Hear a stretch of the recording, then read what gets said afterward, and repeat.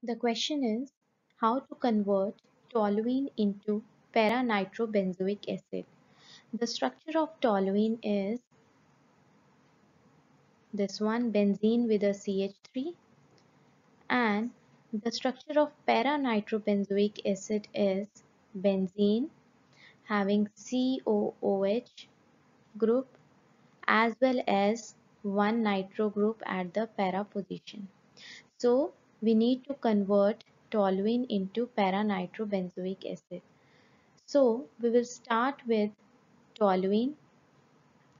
First we will do nitration because in the product we can see that a nitro group is present.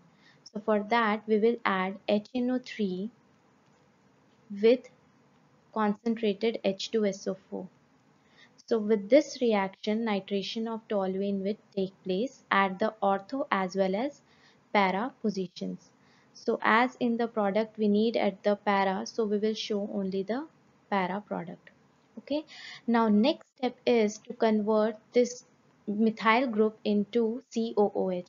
So for that we will use oxidizing agent which is KMNO4.